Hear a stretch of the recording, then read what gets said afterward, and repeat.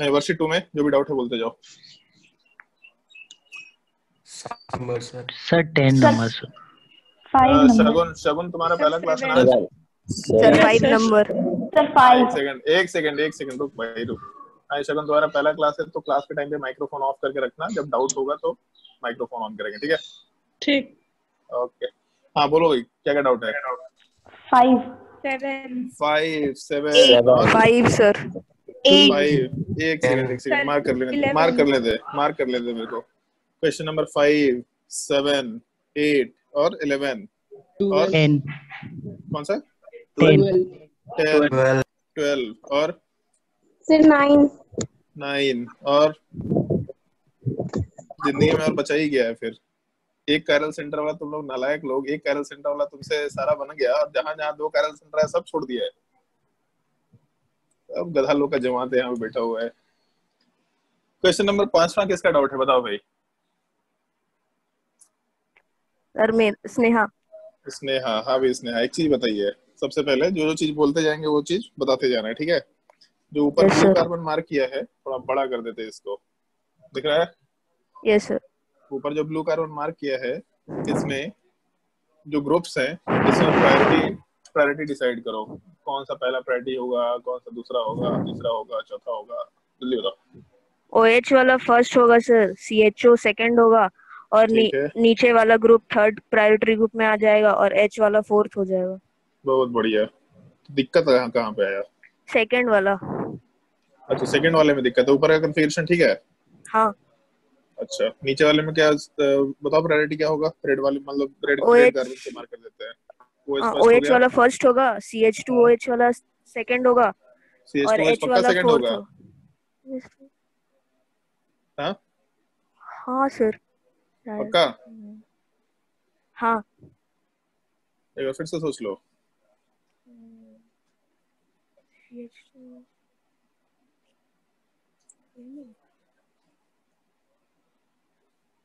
Second ही होना चाहिए sir पक्का? ऊपर दो ग्रुप्स बना रखे हैं साइड में। हाँ। वन और टू में ज़्यादा प्रायोरिटी किसका होगा?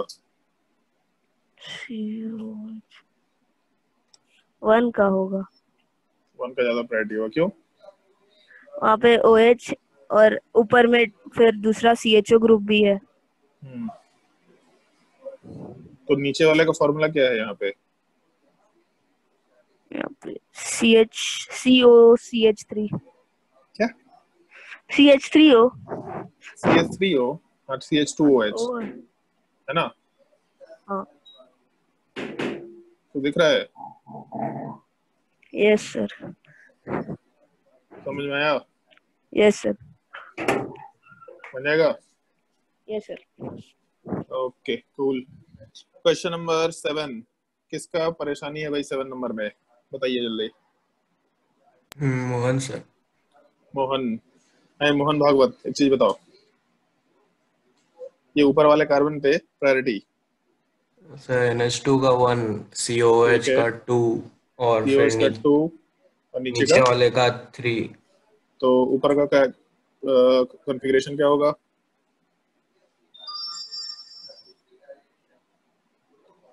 आर होगा।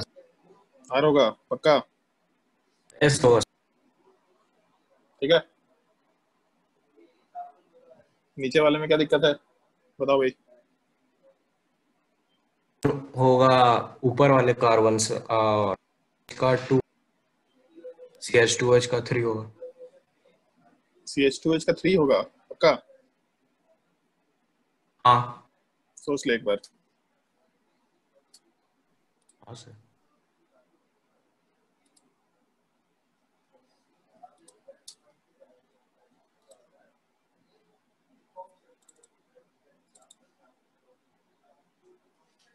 अभी सोच लिया हाँ सर क्या होगा बताओ जल्दी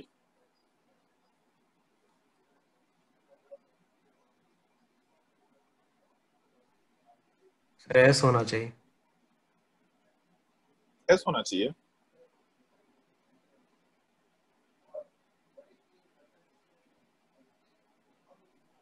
प्रायोरिटी बता ना पहले। हम कॉन्फ़िगरेशन नहीं पूछ रहे। ऊपर वाले का फ़र्स्ट होगा। सॉरी ओएच का फ़र्स्ट होगा। ठीक है। इसको रेड कलर से वाले ऊपर वाले का सेकंड होगा। ऊपर वाले का सेकंड होगा? पक्का? सर नाइट्रोजन है ना। चलो फिर से एक बार देखते हैं।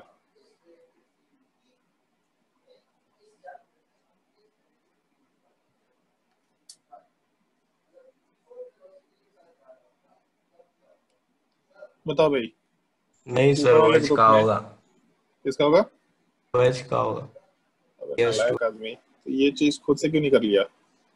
सर पीरियोडिक टेबल नहीं सोच रहे थे। पीरियोडिक टेबल नहीं सोच रहे थे? सर ध्यान में नहीं आया।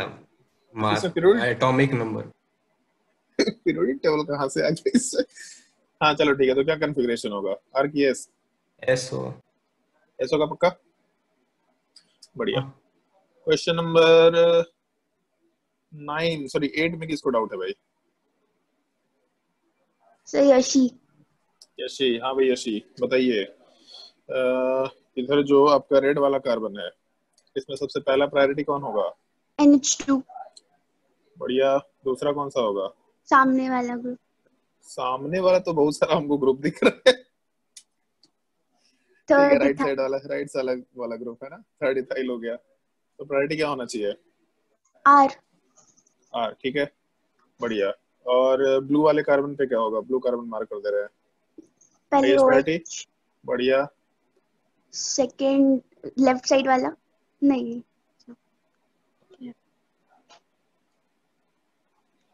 अरे कार्बन पे दोनों तरफ़ तो पहला एटम कार्बन है। फिर उसके बाद कार्बन के बाद ऑक्सीजन है जबकि यहाँ नाइट्रोजन है। बुझाया? हाँ। तो इसमें क्या प्रायोरिटी होना चाहिए?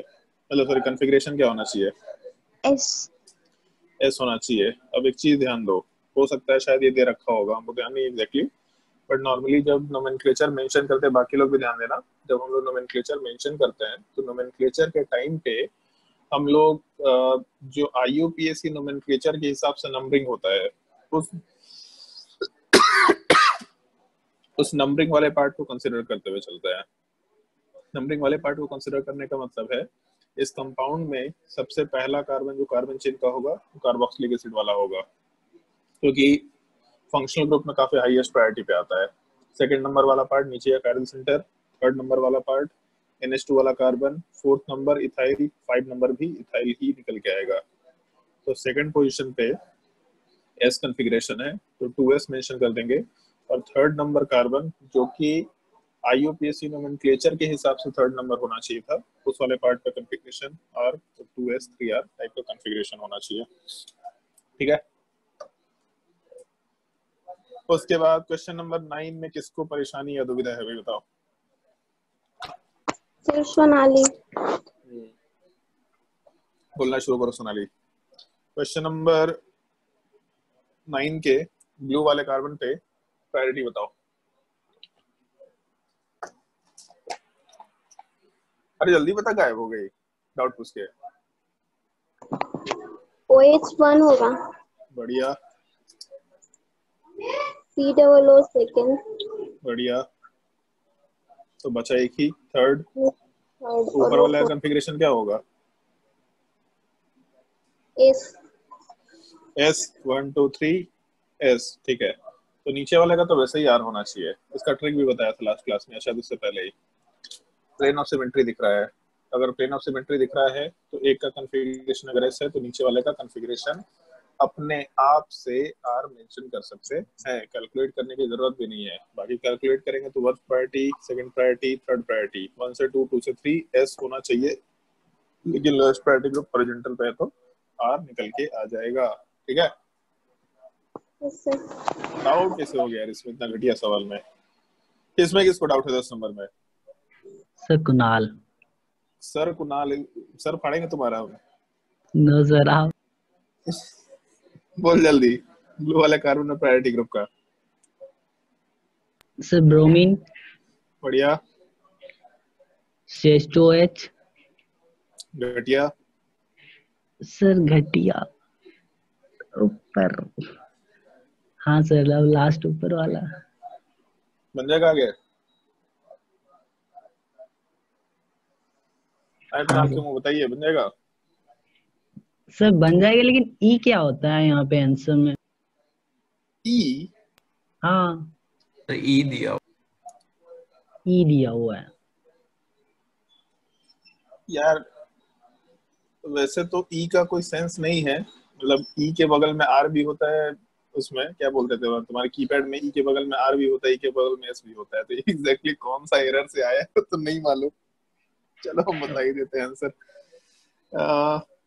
कार्बन नंबर वन तो ऊपर वाला ही होगा. प्रायोरिटी में थर्ड ये ले लिए तो वन से टू टू से थ्री एस मतलब आर कॉन्फ़िगरेशन होना चाहिए और नीचे वाले पार्ट में ब्रोमीन पहला प्रायोरिटी ऊपर वाला दूसरा प्रायोरिटी थर्ड वाला पार्ट नीचे वन से टू टू से थ्री हम्म, एस मतलब आर होना चाहिए राइट वन टू थ्री दोनों में आर आर कॉन्फ़िगरेशन हाँ तो ठीक है दोनों में आर आर कर लेना टू आर थ्री आर ऐसा कुछ आंसर होगा वो थोड़ा टाइपिंग में एरर होगा ई के जगह पे आर मतलब आर की जगह पे टाइप हो गया होगा इसलिए ऐसा गड़बड़ी निकल के आ रहा है ठीक है? ओके सर इस सवाल में डाउट होना नहीं चाहिए था वैसे बट ठीक है ऑप्शन में अगर गलती है तो कोई दिक्कत नहीं है। हाँ क्वेश्चन नंबर इलेवन बना कितने लोगों से ये बता दो हमको? हमको डाउट तो बहुत जनता का होगा बना कितने लोगों से ये बता दो? ऋषिकेश से बन गया ऋतिक से बन गया बढ़िया। और कुणाल से बन गया मोहन से बन गया। बस चार लोगों से बना है। अलका से बन गया आदर्श कुमार से बन गया। आदर्श ग्लूकोज पी के बनाया था क्या? कैसे? ग्लूकोज पी के बनाया था क्या? नो सर अच्छा अंडा खा के बनाया था क्या? ना सर मैं नॉनवेज खा ही नहीं रहा अरे यार ऐसे ही पतला हो गया तू तो। सर घर पे सब बंद करवा दिए। बहुत ना इंसाफी है भाई एक तो कोरोना वायरस हो रखा है, ऊपर से खाना बंद करवा दिया तुम्हारा। चलो बताओ कैसे बनाए ग्यारह नंबर? सर ग्यारह नंबर में जो टू का पार्ट है सर वहाँ पे एगो एच जो टू पे से एगो एच होगा।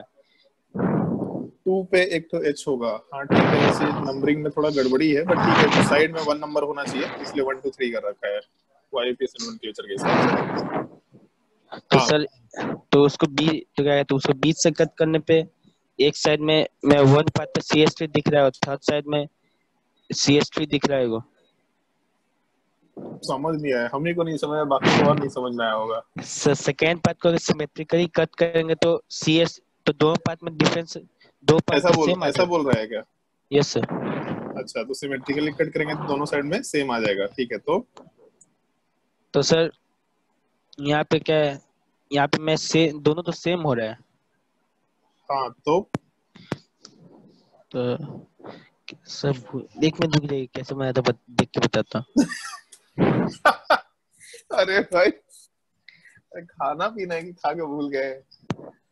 और कौन है भाई बताने वाले में मोहन बताओ भाई। हाँ सर। अरे बताइए इसको जल्दी। या।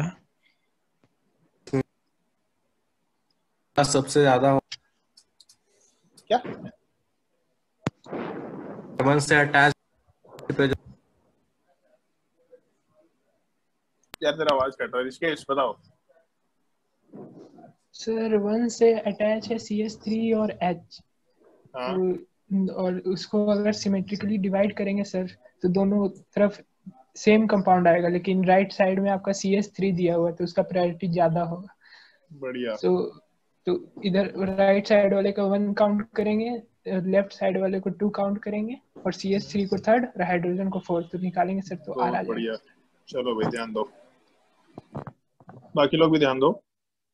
एक तो यहाँ पे हाइड्रोजन दे रखा है। तो हाइड्रोजन तो लोएस्ट प्रायोरिटी होगा, दिमाग ही नहीं लगा रहा है उसमें, ठीक है? ऊपर कार्बन है सी एस थ्री में लेफ़्ट साइड में भी कार्बन है राइट साइड में भी कार्बन है। तो तुम लोगों को बताया था फ़र्स्ट पॉइंट ऑफ़ डिफरेंस तक कंसंट्रेशन चाहिए होता है। तो पहले वाले साइड में मतलब ये लेफ़्ट साइड में हम लोग को एक काम करते हैं, इसको ब्लू से मार्क कर देते हैं। ब्लू वाले साइड में सी है राइट में रेड वाले साइड में भी सी है। तो और आगे जाते हैं। उसके आगे जाने पे भी सी एच टू मिल रहा। है जबकि रेड वाले साइड में आगे जाने पे सी एच थ्री मिल रहा। तो एक चीज़ दिख रहा है कि राइट साइड वाले साइड पार्ट में पहला कार्बन तो सेम था ब्लू वाले साइड के कंपैरिजन में। मतलब ये जो ऊपर वाला पार्ट है दोनों एग्जैक्टली सेम था। C H two C H two compare नहीं कर सकते। बट उसके आगे जाने पे लेफ़्ट साइड में सी एच के साथ एक एच है, जबकि दूसरे साइड में सी एच के साथ एक सी एच थ्री है। तो डेफिनेटली राइट साइड वाले ग्रुप का प्रायोरिटी ज़्यादा निकल के आएगा। तो हम लोग ऐसा कंसिडर कर सकते हैं प्रायोरिटी वाले पार्ट को डिसाइड करते वक्त कि जो अपना राइट साइड वाला ग्रुप है, ये पूरे के पूरे राइट साइड वाले ग्रुप का प्रायोरिटी हम लोग सबसे हाईएस्ट ले सकते हैं यार। सबसे राइट साइड वाले पार्ट का प्रायोरिटी हम लोग सबसे हाईएस्ट लेकर के आराम से करे यार। सबसे राइट साइड वाले साइड का प्रायोरिटी हम सबसे हाईएस्ट लेके चल सकते हैं लेफ़्ट वाले पार्ट का सेकंड ऊपर तो सी एच थ्री था। सी एच थ्री का मतलब सी एच टू के साथ एच है। तो कंपैरिजन का ज़्यादा पॉइंट ही नहीं है। मतलब ऊपर जाने पे सी एच टू के साथ एच मिल रहा है। जबकि लेफ़्ट साइड में सी एच टू के साथ फिर कार्बन मिल रहा है। तो नीचे जाने पे सी एच टू के साथ कार्बन है, जबकि ऊपर जाने पे केवल सी एच टू के साथ एच है। मतलब नीचे वाला पार्ट का प्रायोरिटी ज़्यादा होगा। तो ठीक है, इसमें दिक्कत नहीं होना चाहिए। और राइट साइड में फ़र्स्ट प्रायोरिटी लेफ़्ट साइड में सेकंड प्रायोरिटी और ऊपर वाले पार्ट में थर्ड प्रायोरिटी और जो डेस्ट पे लोएस्ट प्रायोरिटी ग्रुप है ऑलरेडी है ही वहाँ पे। तो वन से टू होते हुए थ्री की तरफ़ जाएँगे। मतलब क्लॉकवाइज एरो आर कंफिग्रेशन बोला जा सकता है। तो एक तो ये निकल के आ गया कि हम लोग का ऊपर वाले पार्ट का कंफिग्रेशन आर होगा। नीचे वाले को भी सेम टाइप से निकाल सकते थे। नीचे वाले पार्ट को अगर हम लोग कंसिडर करें तो उस केस में सी वाला पार्ट थर्ड प्रायोरिटी निकल के आएगा। और ऊपर वाला ग्रुप हायर प्रायोरिटी नीचे वाला साइड में मतलब ऐसा कंसिडर कर लेते हैं। जो ऊपर वाला साइड में रखे हैं, उसको हायर प्रायोरिटी सी एस वाला पार्ट थर्ड प्रायोरिटी और लेफ़्ट साइड वाला पार्ट सेकंड प्रायोरिटी तो वन से टू टू से थ्री मतलब एंटी क्लॉकवाइज एरो इस कॉन्फ़िगरेशन आएगा। तो ऐसा भी बोल सकते थे। बट तुम लोग एक छोटा सा ट्रिक बताया था, अगर थोड़ा बहुत ध्यान हो तो। एक चीज़ देख के मालूम पड़ रहा है तुम लोगों को प्लेन ऑफ़ सिमेट्री है।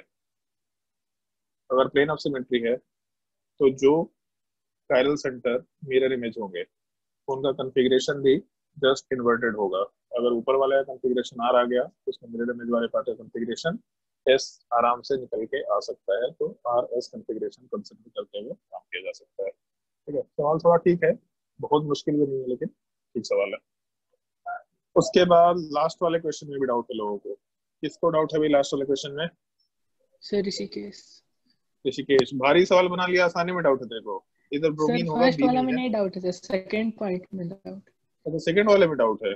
यहाँ ब्रोमीन पहला प्रायोरिटी है लेफ़्ट वाला ग्रुप दूसरा प्रायोरिटी है दूसरा वाला साइड तीसरा प्रायोरिटी है हाइड्रोजन डैश पे दे ही रखा है तो वन से टू टू फिफ्टी इसका मतलब anti clockwise arrow S configuration होगा।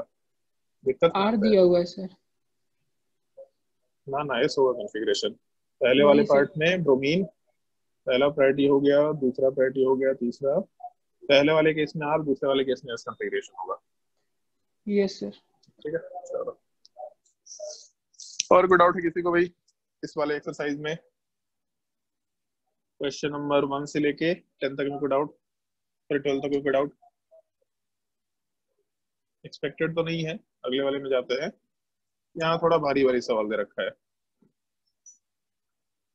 बताओ भाई relation between the following compounds क्या क्या होगा? पहले वाले क्वेश्चन में किसी को डाउट है तो बताओ।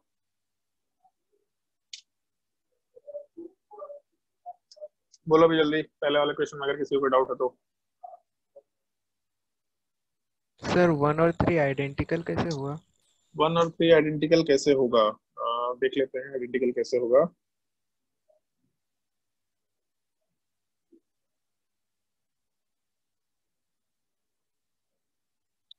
यार, देख के तो थोड़ा कॉम्प्लिकेटेड सवाल लग रहा है। फ्रंट वाले कार्बन में सीएससी के साथ बी आर ओके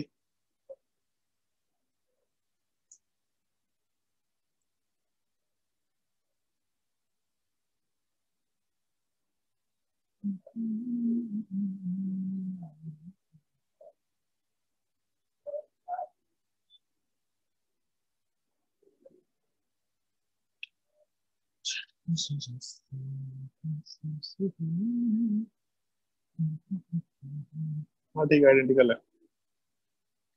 ये थर्ड नंबर वाला मॉलिक्यूल है। अगर इसको ढंग से देखो तो फ़र्स्ट कार्बन पे मतलब फ्रंट कार्बन पे ब्रोमीन सी एच थ्री और एच है। बैक कार्बन पे भी ब्रोमीन सी एच थ्री और एच है। पहले वाले केस में फ्रंट कार्बन पे C H three B R H है। बैक कार्बन पे भी C H three B R H है। तो दोनों कार्बन एग्जैक्टली सेम टाइप का दिख रहा है। तो हम लोग कंपैरिजन करते वक्त ऐसा भी कर सकते हैं कि पहले वाले कंपाउंड के फ़र्स्ट कार्बन को हम लोग दूसरे वाले कंपाउंड के बैक कार्बन से रिलेट कर सकते हैं। बट वो रिलेशन के लिए थोड़ा इमेजिनेशन चाहिए होगा और मॉलिक्यूल को स्विच करना पड़ेगा या फिर रोटेट करना पड़ेगा। मान लो इस एक्सिस के लॉन्ग रोटेशन करते हैं हम लोग वर्टिकल एक्सिस के लॉन्ग तो जब इसका रोटेशन करेंगे तो फ्रंट कार्बन वाला पार्ट घूम के पीछे जाएगा। ऐसा रोटेशन तुम लोगों को बताया भी था, जैसे मान लो हाथ में तुम्हारा एक पेन है। तो पेन का दोनों एंड पॉइंट अगर अपने आँख के सामने है तो अगर उसको हॉरिजेंटली 180 डिग्री रोटेट कर दिया, ताकि दूसरा जो एंड पॉइंट तुम्हारे आँख से दूर था, वो तुम्हारे तरफ़ आ जाए, और जो एंड पॉइंट तुम्हारे तरफ़ था, वो दूर चला जाए। तो उस केस को ऐसा बोल सकते हैं कि फ्रंट कार्बन घूम करके मतलब फ्रंट कार्बन वाला पार्ट 180 डिग्री रोटेट करके पीछे जाएगा, पीछे वाला पार्ट आगे आ जाएगा। लेकिन जब इसको हॉरिजेंटली रोटेट करेंगे तो हॉरिजेंटल स्टेट में जो भी ग्रुप जैसे हैं एग्जैक्टली exactly उसी हाइट पे होंगे लेकिन घूम करके जैसे सी एस वाला पार्ट घूम के एच की तरफ़ एच वाला पार्ट घूम के सी एस की तरफ़ जाएगा। नीचे वाले पार्ट में भी सेम टाइप का कंसिडरेशन होगा। एच वाला पार्ट सी एस की तरफ़ सी एस वाला पार्ट एच की तरफ़ जाएगा। तो इसीलिए इसका दूसरा ओरिएंटेशन मतलब घुमाया हुआ ओरिएंटेशन दिख रहा है अपने को। H C S B R back carbon पे बी आर सी एस और एच तो पहले वाले से रिलेट करके देखते हैं उसको। पहले वाले में सी एस ऊपर चाहिए।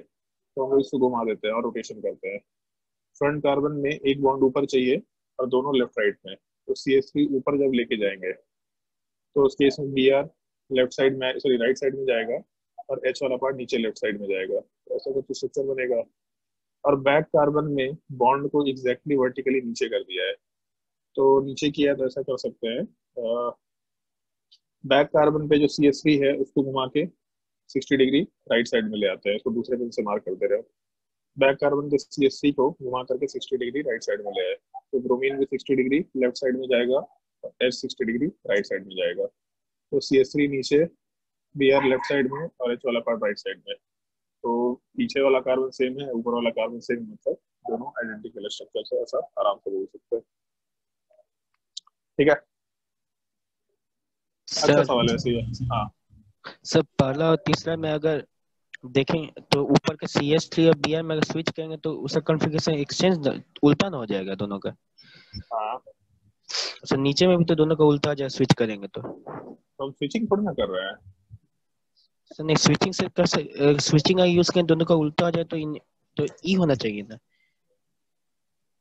समझ आया सर अगर ऊपर में भी स्विच करें और नीचे में भी स्विच करें तो दोनों का कॉन्फ़िगरेशन चेंज ना हो अच्छा जाएगा। ऐसा चलो एक सवाल करते हैं।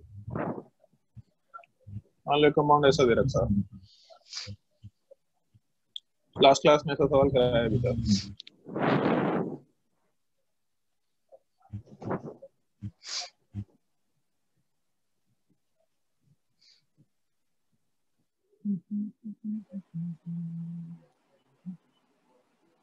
मान लो ऐसा सवाल दे रखा है। तो इसमें जब कंपैरिजन करना है तो ऊपर वाले पार्ट को हम लोग दूसरे कंपाउंड के नीचे वाले पार्ट से रिलेट कर सकते हैं। सर तो तो हम लोग किसी के लिए भी कर सकते हैं। अगर यहाँ पे ब्रोमीन वाला पार्ट नहीं होता ब्रोमीन की जगह पे मान लो क्लोरीन ही होता। अरे यार ब्रोमीन वाले पार्ट की जगह पे यहाँ पे क्लोरीन होता। तो ऊपर में भी क्लोरीन जाता उससे कोई दिक्कत नहीं होता। तो हम लोगों को फ़र्क नहीं पड़ रहा है। हम लोग ऊपर वाले को ऊपर से रिलेट करें या फिर ऊपर वाले को नीचे से रिलेट करें। मेरे मन पे। अब हम लोग मान लो कि ऐसा देख रहे हैं स्ट्रक्चर ये कंपाउंड देख रहे हैं। यहाँ सेकंड नंबर पे क्लोरीन दिख रहा है या फिर इधर साइड से सेकंड नंबर पे क्लोरीन दिख रहा है। तो, तो हम लोग लेफ़्ट साइड से काउंटिंग करेंगे राइट साइड से काउंटिंग करेंगे अपने मन पे। कहीं से भी सिमिलैरिटी निकल के आ रहा है सिमिलैरिटी निकल के आ जाएगा। तो पहले वाले पार्ट के ऊपर वाले कायरल सेंटर को नीचे से रिलेट कर लिया तो नीचे वाले पार्ट को ऊपर से रिलेट कर लेंगे तो स्विचिंग करने की ज़रूरत नहीं है। इसीलिए तो बोल केवल स्विचिंग करना ही कोई रूल नहीं होता है, बहुत सारी पॉसिबिलिटीज होती है जो को ध्यान रख के काम करना होता है। इसीलिए स्विचिंग करके क्वेश्चन सॉल्व जब करते हैं तो वो सब गलती अपने आप समझ में आना शुरू होता है। जैसे एक चीज़ दिखेगा कि फ्रंट कार्बन वाले पार्ट पे हम लोग को दिख रहा है ग्रुप ऐसा टाइप का है बैक कार्बन पे भी हम देखेंगे ग्रुप में करे क्लोरीन तो नहीं है। तो जो गलती इस बार की है जो मालूम पड़ा उस तरह गलती ध्यान में आ जाएगा तो गलती नहीं होगा। ठीक है? ठीक है सर। और बोलो भाई क्वेश्चन नंबर टू में कोई डाउट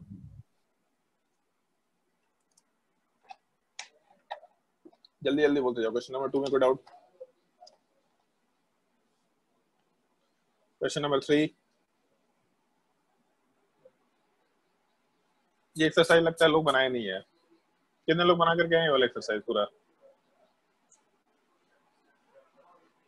ऋतिक आदर्श। इतने लोग बनाए हैं डाउट नहीं आया लोगों को। इतना अच्छा तो नहीं पढ़ा दिए भैया हम। या फिर इतना सिंपल सवाल भी नहीं दिख रहा है कि एकदम डाउट ही ना आए।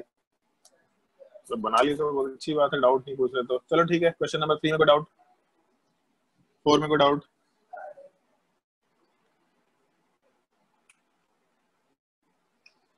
फाइव फाइव का बता देंगे। फाइव में डाउट है। क्वेश्चन नंबर फाइव पे ध्यान दो। तो क्वेश्चन नंबर फाइव वाले पार्ट में जो पहला स्ट्रक्चर है, उसमें सी एस थ्री सॉलिड पे है और ऊपर वाला सी एस थ्री डैश पे है। जबकि दूसरे वाले केस में दोनों सी एस थ्री सॉलिड पे है। तो पहले वाले केस में दोनों जो सिमिलर टाइप के ग्रुप है, वो अपोजिट डायरेक्शन में है मतलब ज़्यादा डिस्टेंस पे है तो ट्रांस बोल सकते हैं। जबकि दूसरे वाले केस में दोनों सिमिलर डिस्टेंस पे है मतलब कम डिस्टेंस पे तो सिस बोल सकते हैं।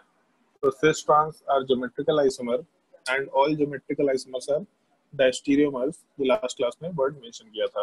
All geometrical isomers are diastereomer तो डायस्टीरियोमर हो गया। और थर्ड फोर्थ की अगर बात करें तो थर्ड फोर्थ वाले पार्ट में सेम चीज़ है। पहला स्ट्रक्चर ट्रांस है दूसरा स्ट्रक्चर सिस है। And cis and trans trans isomers are diastereomer third और फोर्थ थर्ड और फोर्थ ट्रांस किसके? थर्ड और फोर्थ ट्रांस किसे हो गया? ज्योमेट्रिकल आइसोमर पढ़ा है कि नहीं पढ़ा है? आयुष जल्दी बता पढ़े सर। पढ़े हैं सर तो उसमें एग्जांपल नहीं कराया था दस कार्बन चेन वाला? इससे से ट्रांस है। अच्छा। अच्छा नहीं इसका आंसर बता सी से कि ट्रांस है।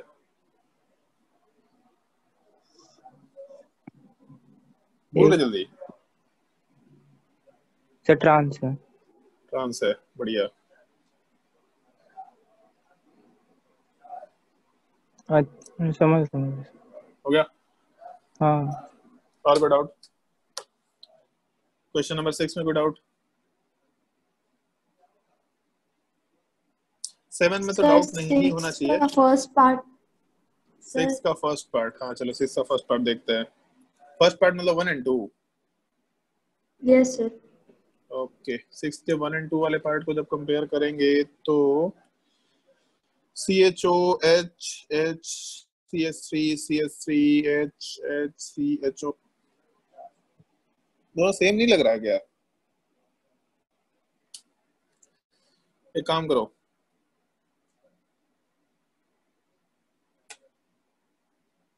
समझ में क्या बोल रहा है? ऐसे में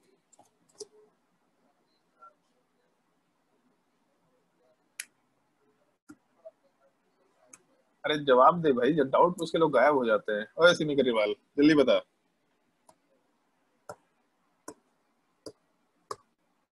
गायब ही हो गए तो।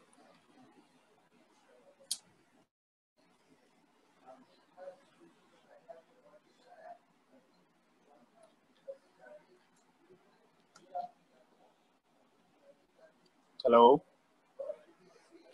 हाँ भाई जल्दी बोलो।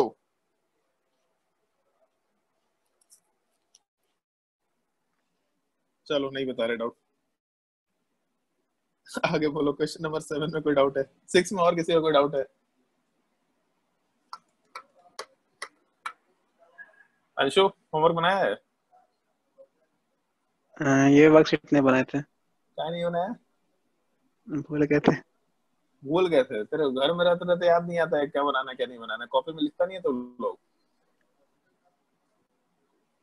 माहौल में सन्नाटा छाया हुआ, समझ में आ रहा है कि कोई कोई नहीं बनाया होमवर्क दो चार लोगों को छोड़ करके। चलो, एक दिन का टाइम देते हैं सॉल्व करके देख लेना। आज डिस्कशन नहीं करे इस चीज़ का। नेक्स्ट क्लास में नहीं बनाया तो अपना काम स्वयं करें। पढ़ाई लिखाई करना शुरू करते हैं हम लोग।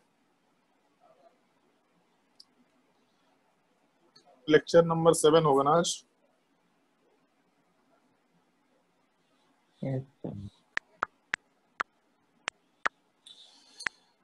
चलो भाई लास्ट क्लास में कहाँ तक पढ़ाया था? एक बार थोड़ा देख लेते हैं। ऑप्टिकल आइसोमरिज्म था ना?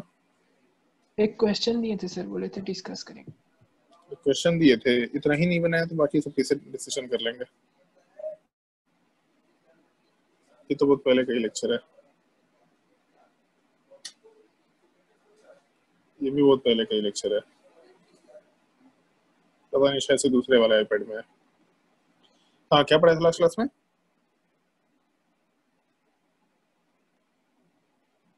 द स्टीरियोमर और वो निकालना रिलेशन निकालना बताया था। चलो ठीक है देख लेते हैं। uh, क्या क्वेश्चन दिया था लास्ट क्लास में कुछ? बताओ एक छोटा सा आइडिया दो।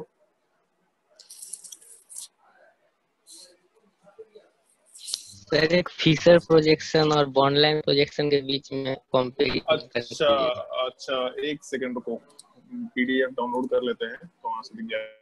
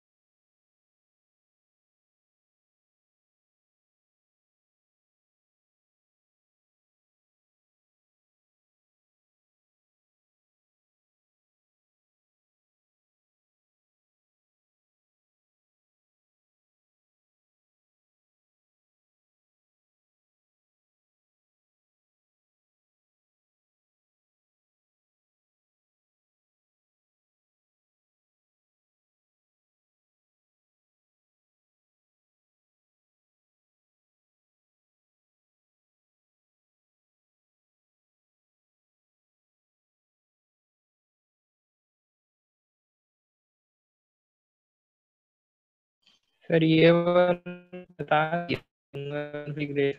कंपेयर कर देना।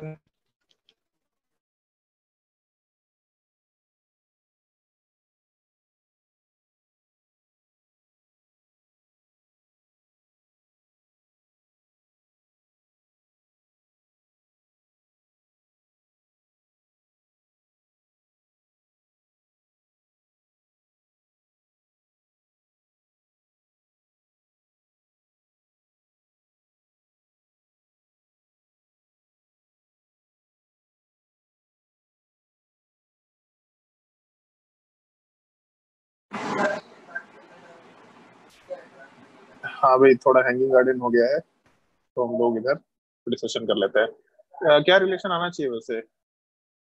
वन और टू का। डी डायस्टीरियमर का? ये क्वेश्चन करा दिए थे। ये क्वेश्चन कराए नहीं थे। इनएंशियमर्स था कराया था क्वेश्चन हम बस हिंट दिए थे बोले थे ट्राई करके आना घर से तो ध्यान नहीं दिया कराया क्वेश्चन चलो तो और हैंगिंग गार्डन हटते हैं तो तो उसके बाद डिस्कशन करते हैं। चलो, जब भी जूम का मीटिंग ऑन करते तो एक बार तो हैंग करता ही करता है, पता नहीं क्या तकलीफ़ है। निशांत कुमार होस्ट चेंज कीजिए थोड़ा होस्ट ट्रांसफ़र कीजिए।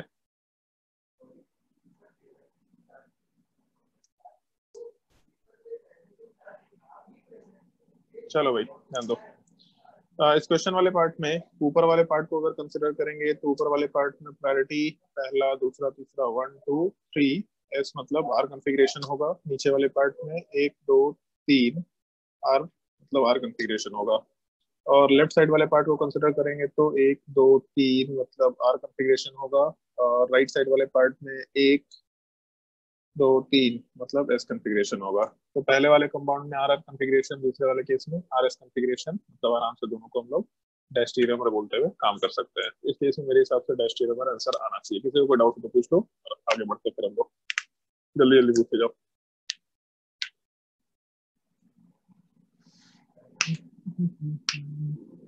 चलो, मान के चल रहे कि सब लोगों से सवाल बन गया है। अगर बन गया तो बहुत अच्छी बात है। संडे को एग्ज़ाम होगा, ये पता ही चल जाएगा सब कुछ। ठीक है?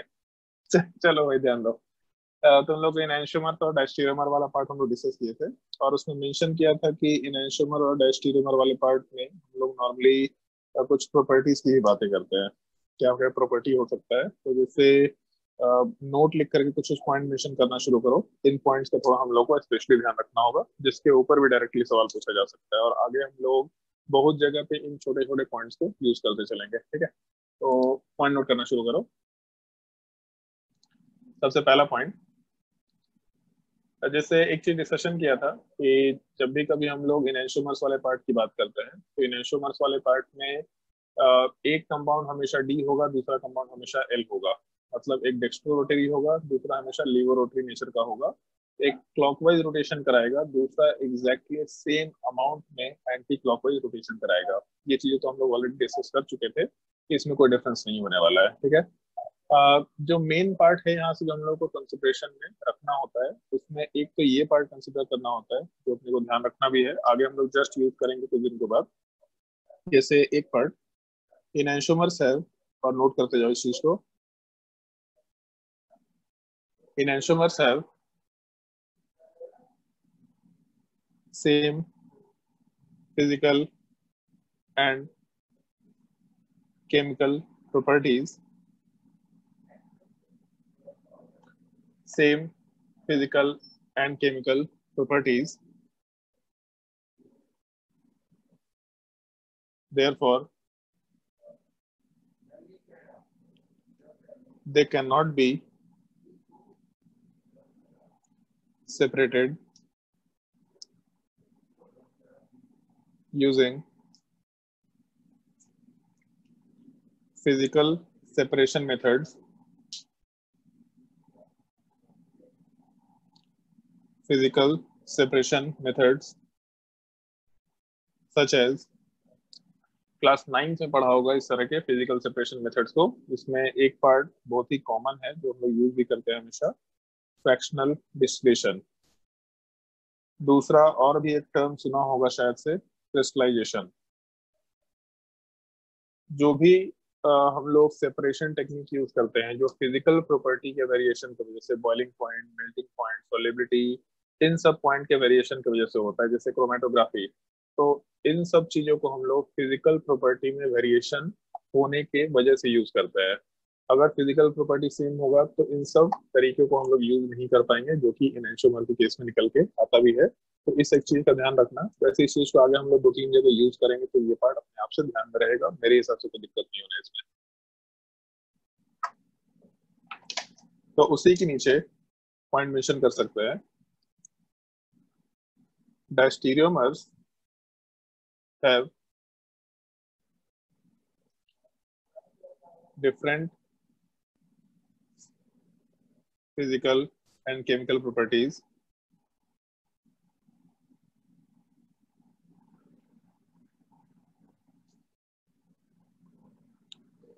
Different physical and chemical properties. Therefore they can be separated using they can be separated using physical separation methods mostly हम लोग फ्रैक्शनल डिस्टिलेशन ही यूज़ करेंगे, लेकिन ठीक है जनरली हम लोग physical separation method word use करते हुए चल रहे हैं।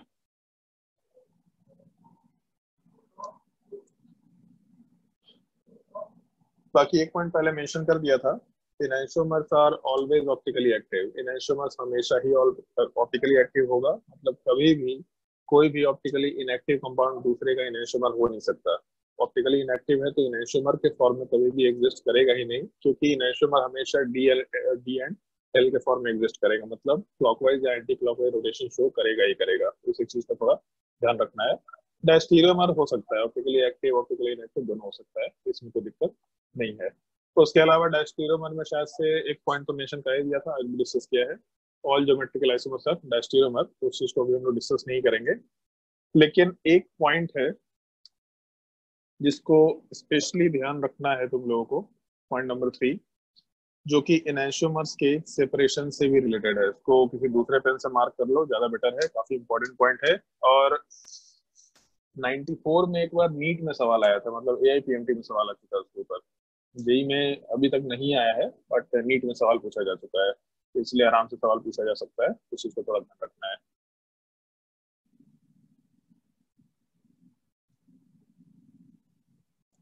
नोट करो भाई in isomers have have different rate of reaction different rate of reaction with optically active और शायद तुम लोगों को याद होगा ऑप्टिकली एक्टिव कंपाउंड को कायरल कंपाउंड भी बोलते हैं। ऑप्टिकली एक्टिव और कायरल रिएजेंट रिएजेंट का मतलब रिएक्टेंट की बात करते हैं हम लोग। Reagent word normally organic chemistry में यूज़ करेंगे, जिसको रिएक्टेंट समझा जा सकता है, ठीक है? तो ऑप्टिकली एक्टिव और कायरल रिएजेंट एक सेकेंड निशांत। आवाज़ आ रही निशांत तुमको? अ, उसमें देखना ना होस्ट ट्रांसफ़र कर दे तो मेरे को। जब पार्टिसिपेंट्स में जाएगा ना तो स्मार्ट पेप अकेडमी में होस्ट ट्रांसफ़र करने का ऑप्शन आएगा। स्मार्ट पेप अकेडमी जब क्लिक करेगा तो होस्ट ट्रांसफ़र कर दो।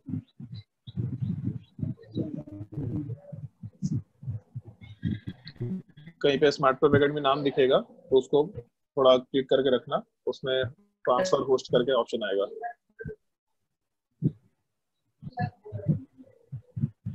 हो रहा है क्या?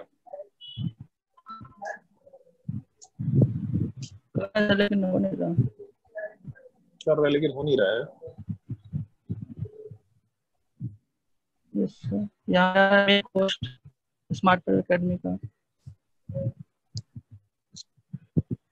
यस कर रहे हैं।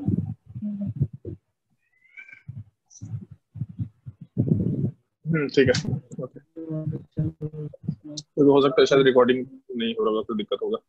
चलो enantiomers are different rate of reaction with optically active reagent reagent का मतलब रिएक्टेंट बोल सकते हैं। And this property is used for the separation of enantiomers and this property is used for the separation of enantiomers. तो इस चीज़ को थोड़ा ध्यान रखते हुए काम करना है, जैसे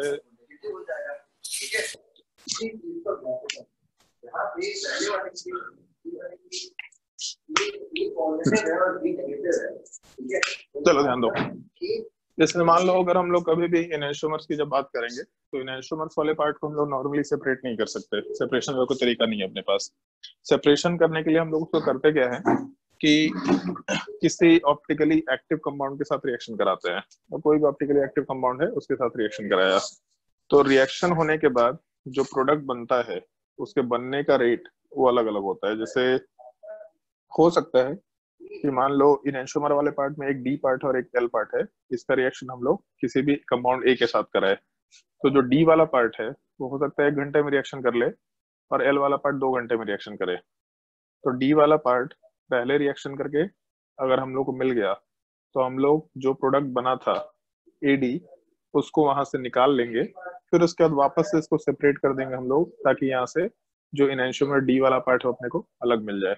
और सिमिलर टाइप से जो ए एल बनेगा, इस पार्ट को हम लोग रिएक्शन मिक्सर में छोड़ छोड़ दिए, फिर यहाँ से भी एल वाले पार्ट को सेपरेट कर लिए। तो वहाँ से एल अलग हो गया डी अलग हो गया।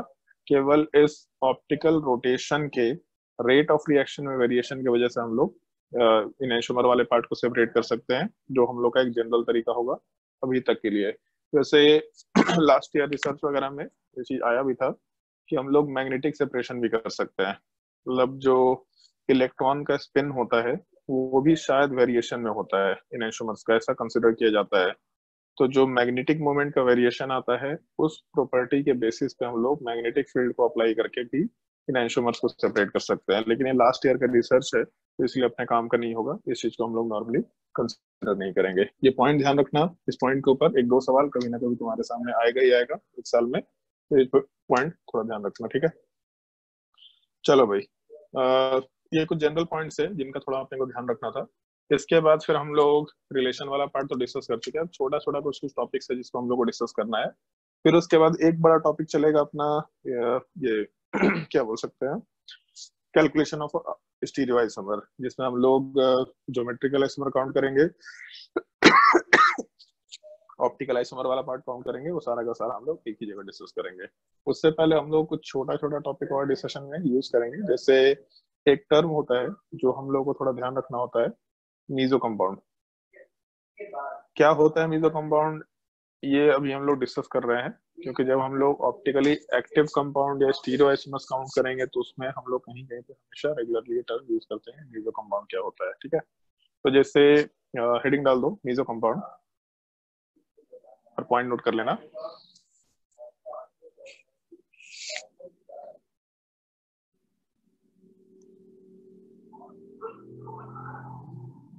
Compound with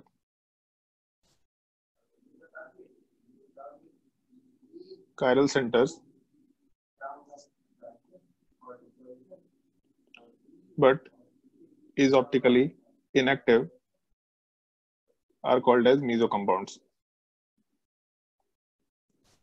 Compound with chiral centers but is optically inactive are called as meso compounds. Compound में ऑप्टिकल इनएक्टिविटी होना चाहिए। ये मस्ट है, इसमें कोई दिक्कत नहीं है। लेकिन कंपाउंड में कायरल सेंटर होना भी चाहिए। जैसे कंपाउंड में अगर कायरल सेंटर नहीं है तो हो सकता है कंपाउंड ऑप्टिकली एक्टिव हो सकता है कंपाउंड ऑप्टिकली इनएक्टिव हो।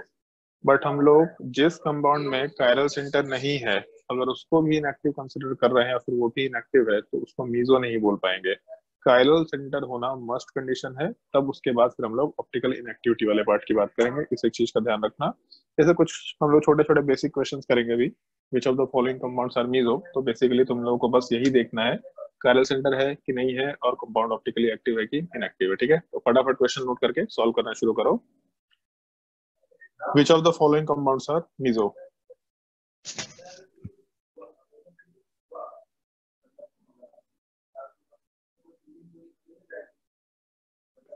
which of the following compounds are meso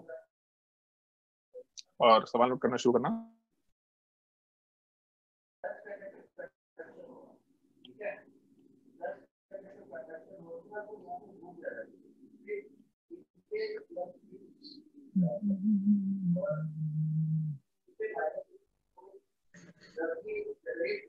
थोड़ा तेज़ी से क्वेश्चन नोट करना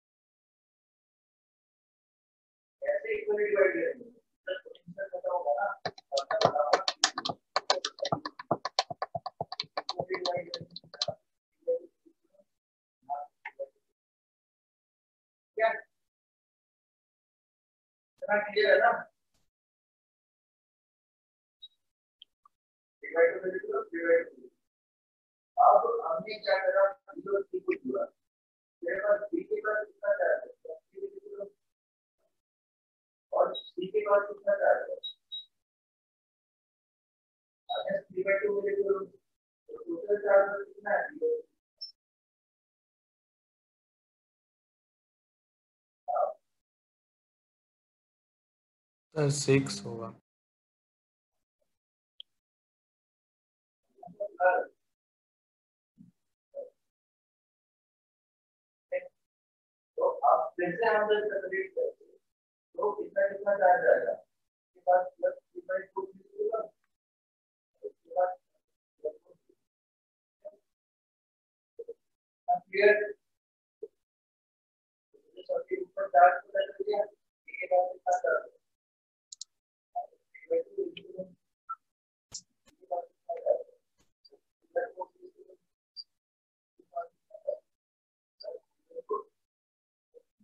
Yeah.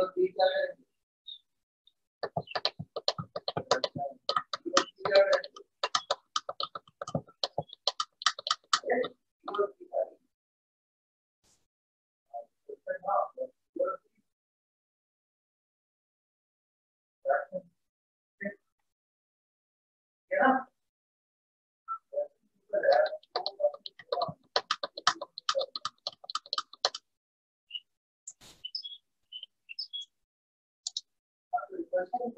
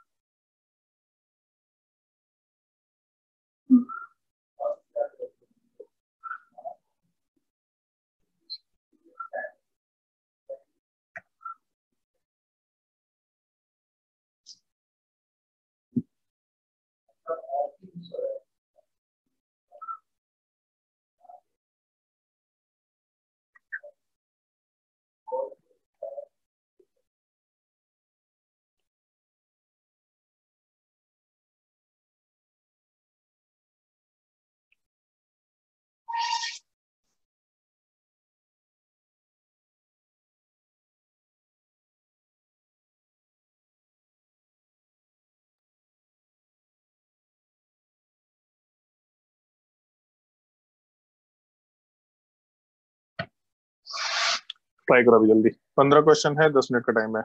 और जिसको जो क्वेश्चन देखना होगा बोलते जाना कि सर ये क्वेश्चन दिखा दीजिए। ऊपर कीजिए नीचे कीजिए मत बोलना। वन अबे सर इलेवन वन नंबर देखो पहले।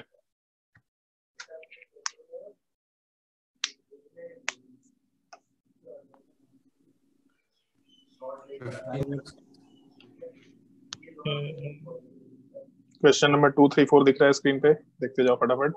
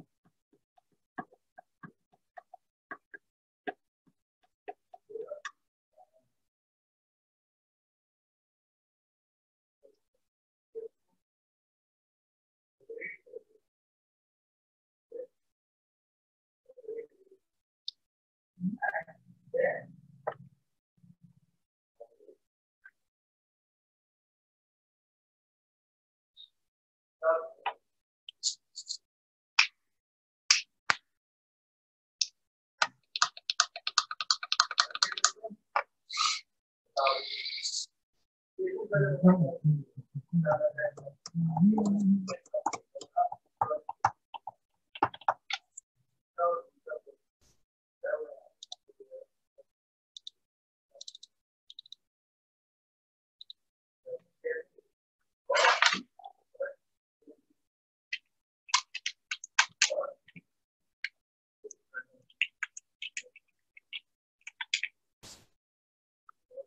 दस मिनट का टाइम है जल्दी क्वेश्चन सॉल्व करो।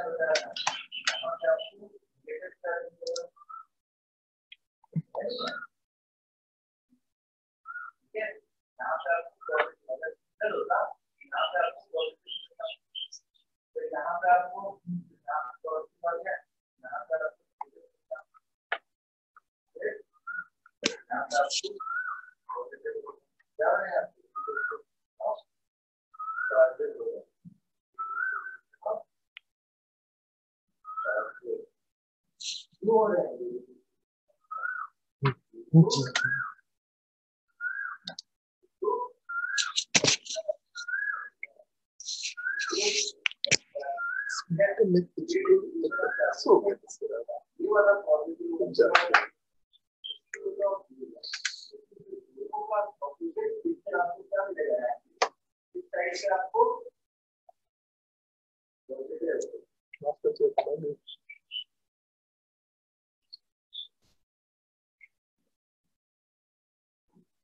Question number thirteen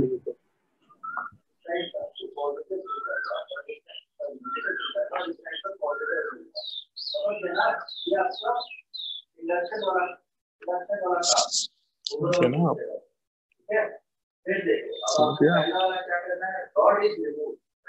Question number thirteen question number thirteen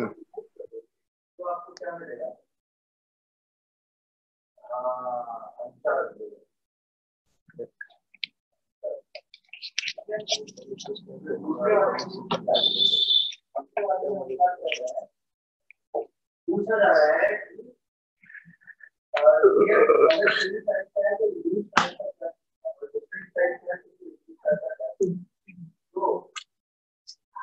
एक पे डिपेंड करते हैं। कितना चार्ज आएगा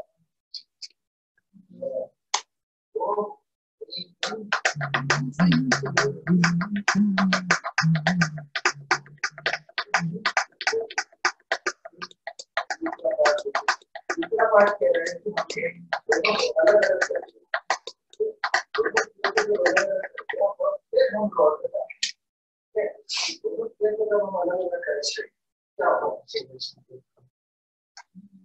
हैं भाई जल्दी बताओ question number eleven twelve thirteen में कोई doubt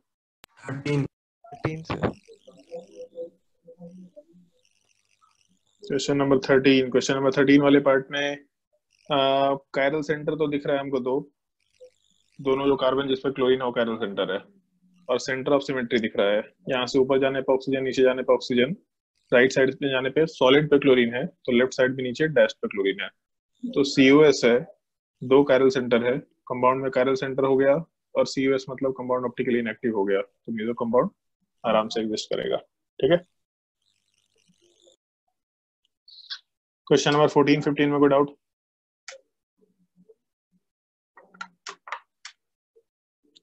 जल्दी जल्दी। क्वेश्चन नंबर फोर्टीन फिफ्टीन में कोई डाउट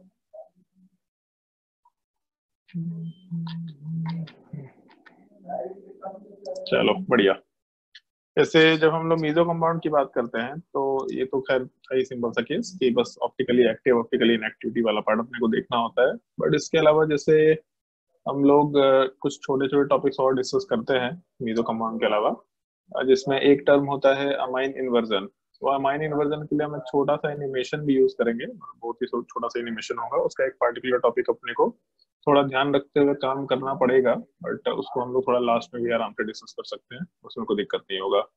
आज कितना चार दस हो रहा है ना, पंद्रह मिनट का टाइम है। तो चलो ठीक है, काम करते हैं। हम लोग एक छोटा सा थ्योरेटिकल टॉपिक जो ऑप्टिकल रोटेशन से रिलेटेड है, उस चीज़ को डिस्कस कर लेते हैं। मतलब ऑप्टिकल रोटेशन क्या होता है रिस्मेक मिक्सचर क्या होता है, छोटा ही सा टॉपिक है, पर उसको डिस्कस कर लेते हैं। फिर उसके बाद हम लोग स्टीरियो आइसोमर्स वाले पार्ट का कैलकुलेशन आराम से शुरू कर लेंगे, ठीक है? तो हेडिंग डाल दो इसके बाद। ऑप्टिकल रोटेशन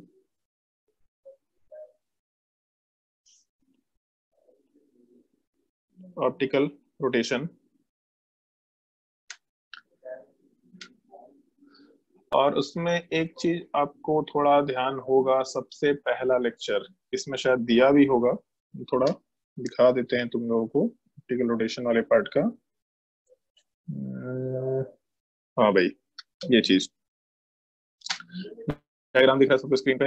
तो तुम लोग उस टाइम पे एक चीज़ मेंशन किया था कि ये जो अपना स्ट्रक्चर दिख रहा है तो कुछ लोगों का डाउट ये भी तो हो सकता है कि सर अगर 180 डिग्री रोटेशन हो जाए तो तब भी तो ऊपर वाला चीज़ हो सकता है। तो जैसे वहाँ पे चीज़ मेंशन किया था कि आगे हम लोग डिस्कशन करेंगे कि 180 डिग्री रोटेशन एक पर्टिकुलर कंसंट्रेशन पे अगर है तो हम लोग आराम से कंसंट्रेशन भी चेंज करते हुए काम कर सकते हैं। तो इसलिए ऐसा ज़रूरी नहीं है कि हमेशा कंपाउंड 180 डिग्री रोटेशन शो करेगा। अगर कंपाउंड का हम लोग कंसंट्रेशन चेंज करेंगे तो इस केस में कंपाउंड वाला पार्ट आराम से अलग अलग ऑप्टिकल रोटेशन शो करते हुए काम कर सकता है। तो हम लोग उसी चीज़ को यहाँ पे डिस्कस करते हैं। Optic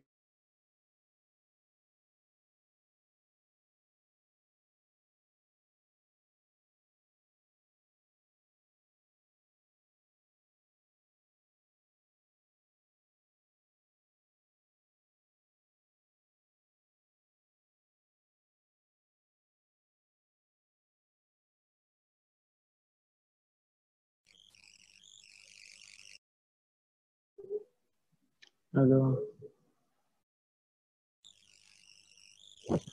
Hello. Sir voice नहीं आ रहा है। आवाज़ नहीं आ रहा sir time for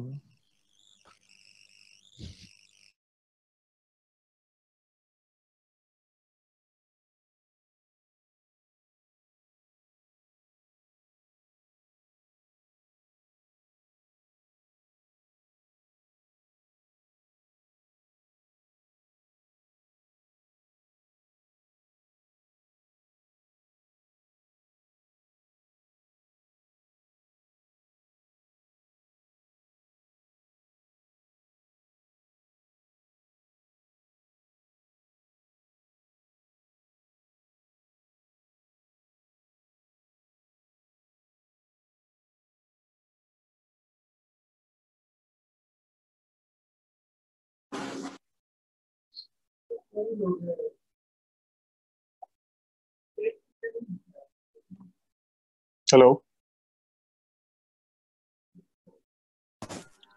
hello हाँ अभी नेट डिस्कनेक्ट हो गया था थोड़ा। चलो। हाँ, ध्यान दो हाँ ठीक है ठीक है। चलो ध्यान दो।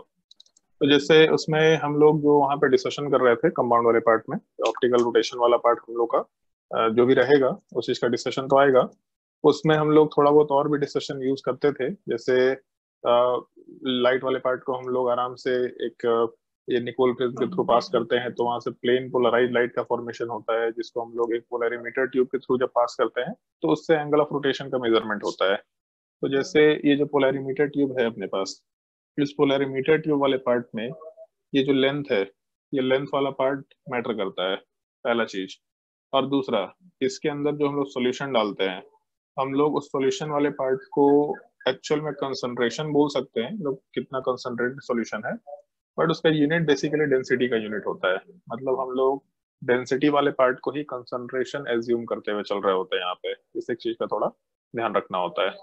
तो जैसे उस कंसिडरेशन को ही अगर हम लोग लेकर के चले तो इसमें कुछ कुछ छोटे छोटे पॉइंट्स हैं जिनका थोड़ा ध्यान रखना होगा। जैसे पहला पार्ट तो ये कि कोई भी अगर एक सब्सटेंस दे रखा, ठीक है तो ऐसा कंसिडर कर सकते हैं। कोई भी कंपाउंड के लिए, अगर ऑप्टिकली एक्टिव है इनएक्टिव हुआ तो ऑप्टिकल रोटेशन ज़ीरो ही होगा। तो कंपाउंड ऑप्टिकली एक्टिव है तो उस केस में जो हम लोग का एंगल ऑफ़ रोटेशन है एंगल ऑफ़ रोटेशन का मतलब जो मेन पोजीशन था, उस मेन पोजीशन वाले पार्ट से कितना हम लोग का प्लेन पोलराइज वाला पार्ट रोटेट कर गया। तो ये जो एंगल ऑफ़ रोटेशन है, ये angle of rotation will be directly proportional to length of the polarimeter tube जिसको हम लोग एल से रिप्रेजेंट कर सकते हैं। बट ध्यान एक चीज़ का रखना है कि जो लेंथ वाला पार्ट है, ये हमेशा हम लोग डेसीमीटर में लेके चलेंगे। ये यूनिट्स का ध्यान रखना है। क्वेश्चन सॉल्व करते वक्त इन यूनिट्स का हम लोग को ध्यान रखते हुए काम करना होगा। तो सबसे पहला part length of the polarimeter tube आराम से कंसिडर कर सकते हैं। एक सेकंड पोलरिमीटर ट्यूब ये तो सबसे पहला पार्ट हो गया। उसके अलावा जो एंगल ऑफ़ रोटेशन है एंगल ऑफ़ रोटेशन वाला पार्ट एक्चुअल में इसके ऊपर भी डिपेंड करता है कि अंदर सॉल्यूशन का कंसंट्रेशन कितना है। तो जो कंसंट्रेशन वाला पार्ट है, उसको हम लोग सी से रिप्रेजेंट कर देते हैं। लेकिन जो कंसंट्रेशन होगा, उसका unit gram per decimetre cube होगा। मतलब हम लोग यूनिट में यहाँ पे भी डेसीमीटर लेके चल रहे हैं। तो ग्राम पर वॉल्यूम मतलब डेसीमीटर क्यूब तो वॉल्यूम होता है बेसिकली तो इस चीज़ को तो हम लोग डेंसिटी बोलते हैं। लेकिन इस पार्टिकुलर टॉपिक में हम लोग यहाँ पे इसको डेंसिटी नहीं बोलेंगे, इसको कंसंट्रेशन ही बोलेंगे। तो इस केस में concentration of the solution consider करते हुए काम कर सकते हैं या फिर कंसंट्रेशन ऑफ़ द कंपाउंड बोल दो या कंसंट्रेशन ऑफ़ द सब्सटेंस बोल दो। यूनिट का ध्यान रखना है भाई। यूनिट वाला पार्ट बहुत ज़रूरी है। ग्राम पर डेसीमीटर क्यूब और ऊपर वाले पार्ट में सिर्फ़ डेसीमीटर तो एक चीज़ हम लोग रिलेट कर सकते हैं। अ, इतना पार्ट नोट कर लो पहले फॉर अ कंपाउंड वाला part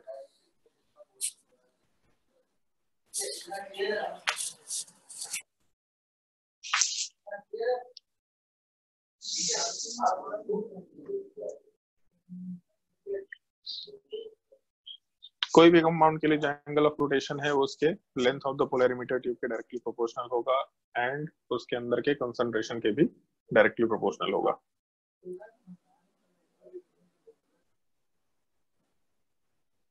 Thank you.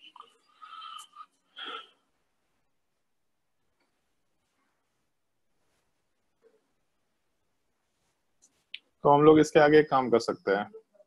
Theta is directly proportional to L theta is directly proportional to C तो इन दोनों को कंबाइन कर दिया तो इस केस में theta is directly proportional to C into L भी कंसिडर किया जा सकता है। मतलब कंसंट्रेशन और लेंथ दोनों को कंबाइन कर दिया तो यहाँ से जो हम लोग का थीटा वाला पार्ट है, इस चीज़ को हम लोग मर्ज करके तो लिख दिए और साथ ही साथ जो अपना यहाँ प्रोपोर्शनैलिटी है, उस प्रोपोर्शनैलिटी को भी हम लोग हटा देते हैं।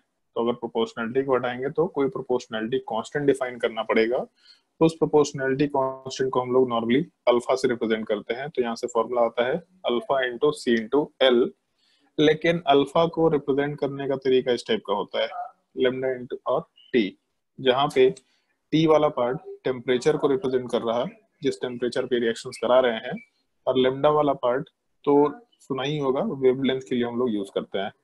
तो वेवलेंथ ऑफ़ लाइट जिसको हम लोग यूज़ कर रहे हैं इस एक्सपेरिमेंट में, उसके बेसिस पे हम लोग वो लेमडा कंसिडर करते हुए काम करता है। तो यहाँ से हम लोग का एक फॉर्मूला तो ये निकल गया गया theta is equal to alpha C L लेकिन हम लोग को याद इसको इस फॉर्मेट में रखना है। अल्फ़ा लेमडा से टी तक मतलब लेमडा और टी वाले पार्ट के रिस्पेक्ट में theta upon C into L इस एक फॉर्मूले को ध्यान रखना, जिसको हम लोग आगे कैलकुलेशन वगैरह करने के लिए भी थोड़ा बहुत यूज़ करेंगे। और ये जो अल्फ़ा है इस अल्फ़ा वाले पार्ट को स्पेसिफिक एंगल ऑफ़ रोटेशन भी बोला जाता है। जैसे हम लोग आगे यूज़ करते थे ना, वहाँ पे पहले कहीं भी कांस्टेंट डिफाइन करते हैं तो स्पेसिफिक रेट ऑफ़ रिएक्शन या फिर कोई पर्टिकुलर टाइप का कांस्टेंट है तो उसमें हम लोग कुछ नया टर्म ऐड कर देते हैं। तो सिमिलर टाइप का हम लोग यहाँ पे specific angle of rotation word use कर सकते हैं। उसको ऐसा समझ लो कि जब हम लोग रोटेशन कराएँगे तो जिस टाइम पे पूरे पोलरिमीटर ट्यूब का लेंथ वन डेसीमीटर होगा एंड जो कंसंट्रेशन वाला पार्ट है one gram per decimetre cube होगा। तो इस पार्टिकुलर कंसंट्रेशन पे और लेंथ ऑफ़ पोलरिमीटर ट्यूब पे, जो भी ऑप्टिकल एंगल या जो भी एंगल ऑफ़ रोटेशन ऑब्ज़र्व होगा, उस चीज़ को हम लोग आराम से स्पेसिफिक एंगल ऑफ़ रोटेशन बोलते हुए काम कर सकते हैं। तो इस एक चीज़ का ध्यान रखना, ये फॉर्मूला थोड़ा काम का होता है। न्यूमेरिकल पूछा तो नहीं है, लेकिन पूछा जा सकता है आराम से न्यूमेरिकल के ऊपर सवाल। बहुत पहले सब्जेक्टिव के टाइम पे कभी न्यूमेरिकल पूछा गया था बट मेरे हिसाब से सिंपल सा न्यूमेरिकल पूछने लायक सवाल होता है, आराम से पूछा जा सकता है इस चीज़ को। नोट कर लो इस फॉर्मूले को।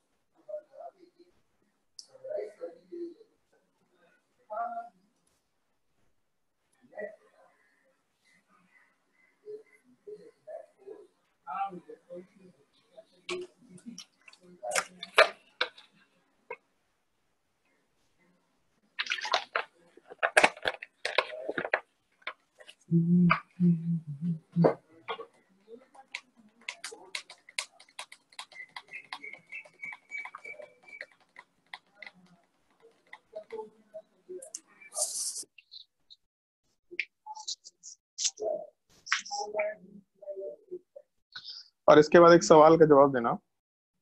अगर, पहला सवाल, अगर कंसंट्रेशन बढ़ाएँगे सॉल्यूशन का तो अल्फ़ा पे क्या फ़र्क पड़ेगा? बढ़ेगा पहला ऑप्शन घटेगा दूसरा ऑप्शन और दूसरा लेंथ बढ़ाएँगे तो अल्फ़ा पे क्या फ़र्क पड़ेगा? पहला ऑप्शन बढ़ेगा दूसरा ऑप्शन घटेगा। अपना अपना जवाब दे सकते हैं जिससे पूछेंगे। जैसे सबसे पहले स्क्रीन में दिख रहा है मेरे को अंशु। बताओ अंशु। अगर कंसंट्रेशन बढ़ाएँगे तो अल्फ़ा पे क्या फ़र्क पड़ेगा? घटेगा। घटेगा। और लेंथ बढ़ाएँगे तो? वो भी घटेगा। वो भी घटेगा। अच्छा कितने लोग जो लोग ये बोलते हैं कि कंसंट्रेशन बढ़ाएँगे तो अल्फ़ा वाला पार्ट घटेगा। कितने लोग हैं ऐसे? हाथ रेस करो। फटाफट रेस करो। कंसंट्रेशन बढ़ाएँगे, पहला केस कंसंट्रेशन अगर बढ़ाएँगे तो कितने लोगों को लगता है कि एक सेकेंड कंसंट्रेशन अगर बढ़ाएँगे तो कितने लोगों को लगता है कि सेकेंड वाला पार्ट आएगा? मतलब एंगल ऑफ़ रोटेशन घटेगा। फटाफट हाथ रेस करो, ताकि दिखे मेरे को। और हाथ रेस करके डाउन मत करना, हमको दिखना चाहिए।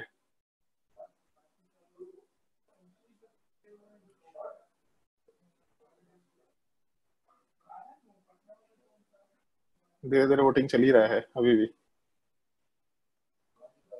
और भी लोग आ रहे हैं। अभी और आया। और आ रहा है राहुल सिंह, प्रियतोष। और किसी को लगता है कि कंसंट्रेशन बढ़ाएँगे तो जो तुम्हारा ये अल्फ़ा वाला पार्ट हो घटेगा।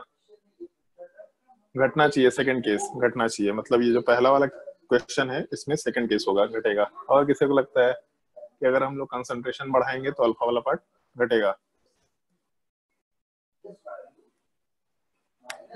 अच्छा इतने लोगों को नहीं लगता है। आदर्श अपना हाथ हटा लिया? नहीं लगता है?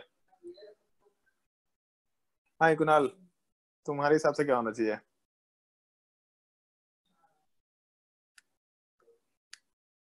बताओ भी कुणाल। नहीं पता। नहीं पता सर? अरे सामने फॉर्मूला है नहीं पता सर। पता तो किसी को भी नहीं है। शिवम? सामने की तरफ़ से तक नहीं होना चाहिए। नहीं शिवम पता। बताओ। क्या? नहीं पता। नहीं पता पता किसको है? कौन देखा एक्सपेरिमेंट नहीं पता सर। और कौन बचा स्नेहा? सर कांस्टेंट है ना तो बढ़ेगा घटेगा थोड़ी ना। हाँ। अभी तो जस्ट डिफाइन किया भाई कि इसको प्रोपोर्शनैलिटी कांस्टेंट में डाले हैं तो कांस्टेंट कब से बढ़ने घटने लग गया? अगर हम लोग कंसंट्रेशन को बढ़ाएँगे तो थीटा बढ़ेगा। अभी जस्ट ऊपर मेंशन किया है theta is directly proportional to L theta is directly proportional to concentration तो अगर थीटा को बढ़ाएँगे सॉरी सी को बढ़ाएँगे तो थीटा बढ़ेगा रेशियो वापस से सेम आएगा। एल को बढ़ाएँगे तो फिर थीटा बढ़ेगा, वापस से सेम आएगा। अभी जस्ट मेंशन किया कांस्टेंट कांस्टेंट का मतलब ही सब लोग चेंज कर दिया। पता नहीं कौन सा अंग्रेज़ी स्कूल में पढ़ा है सब। भगवान जाने। भगवान मालिक है भाई तुम्हारे अंग्रेज़ी का। तो इसके इसमें ध्यान रखना, ये पॉइंट नोट कर लो इसके नीचे नोट लिख करके पॉइंट मेंशन कर लेना। पहला point specific angle of rotation is is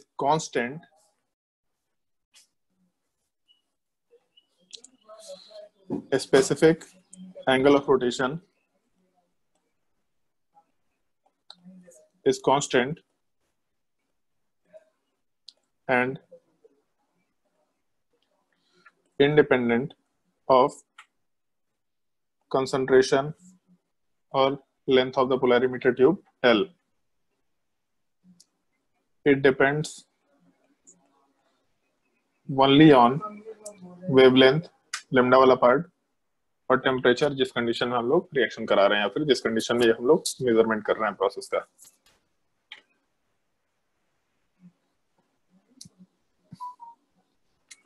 बुझाया जी सबको? नालायक लोग फॉर्मूला देखते ही सीधा इनवर्सली प्रोपोर्शनल डायरेक्टली प्रोपोर्शनल करना शुरू कर देता है सब। एकदम नालायक है सब। और कुछ लोग नहीं पता भी बोल रहे हैं। फॉर्मूला सामने उसको देख के पता नहीं कर पा रहे हैं।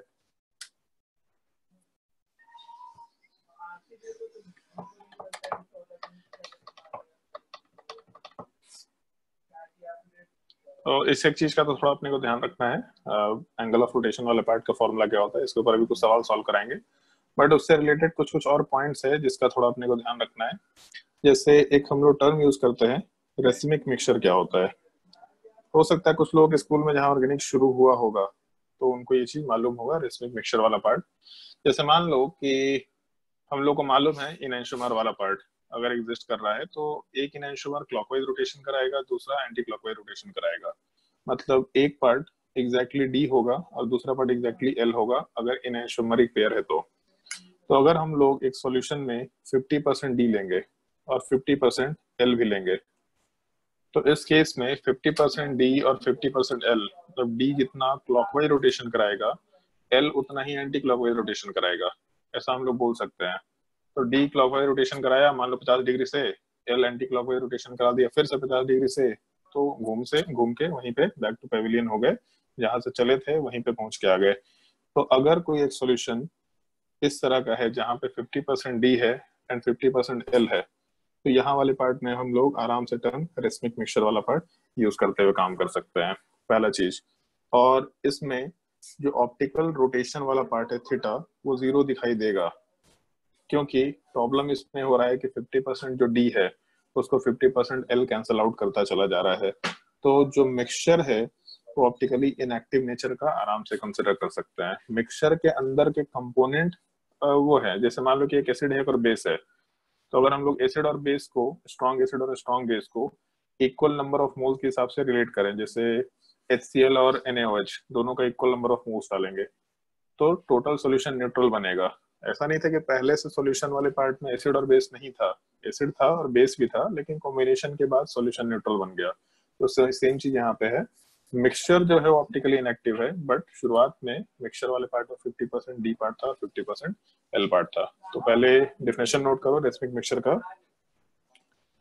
It is a mixture containing heading डाल देना racemic mixture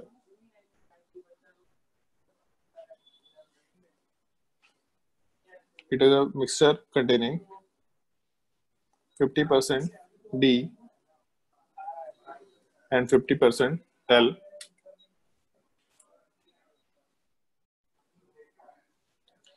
That is equimolar mixture of enantiomers.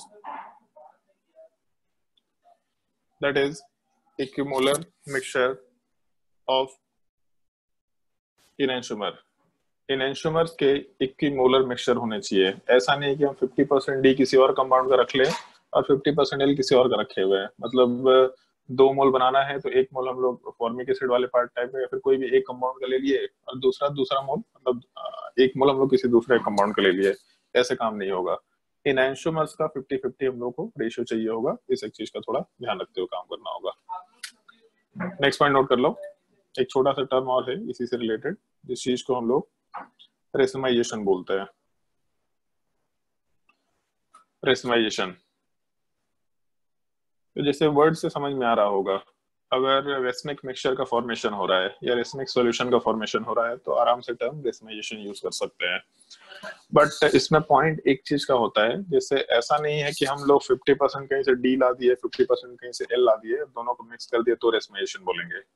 किसी रिएक्शन के टाइम पे अगर खुद से 50 परसेंट डी और 50 परसेंट एल बनता है, किसी रिएक्शन के टाइम पे तब उस केस में हम लोग उसको रेसमाइजेशन बोलते हैं। एक्सटर्नली हम लोग डी और एल को मिला करके रेसमिक मिक्सचर का फॉर्मेशन कराएँगे तो उसको रेसमाइजेशन नहीं बोलेंगे। इस एक चीज़ का ध्यान रखना। तो पॉइंट नोट कर लो इसमें। एक काम करना हेडिंग में भी मेंशन कर सकते हैं आराम से। Defined for reactions only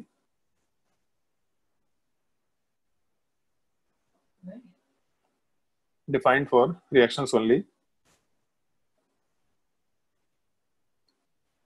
और उसके बाद the reaction in which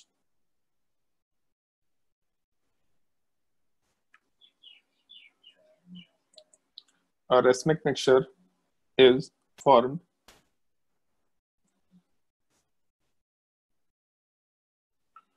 is called as racemization.